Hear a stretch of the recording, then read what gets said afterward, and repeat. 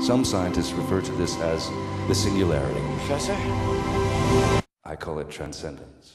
Transcendence stars Johnny Depp as a brilliant researcher who creates a computer that possesses feelings and collective intelligence.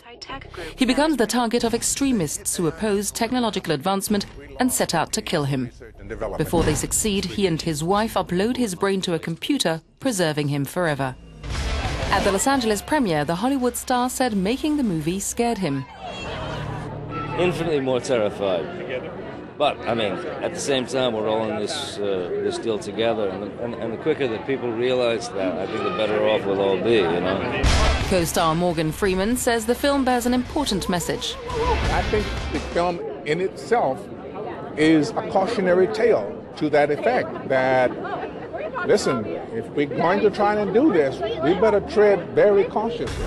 Will's body is dying, but his mind is a pattern of electrical signals. The science fiction movie explores artificial intelligence and the concept of singularity, a hypothetical moment in time when computers will overtake human intelligence. Rebecca Hall stars as Depp's wife and fellow scientist. The moment that I googled anything about it, I realised that there was just a whole apocalypse coming that I have no idea about, according to the internet, which you must always believe. But uh, it's a, it's. I learned pretty much everything there is to learn about the singularity from scratch. I had no idea.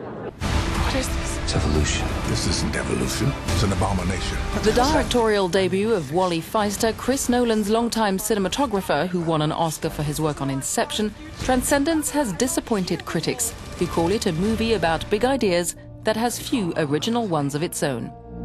Others deplore the movie's uniformly bland and lifeless characters, including a sleepy performance by lead man Johnny Depp.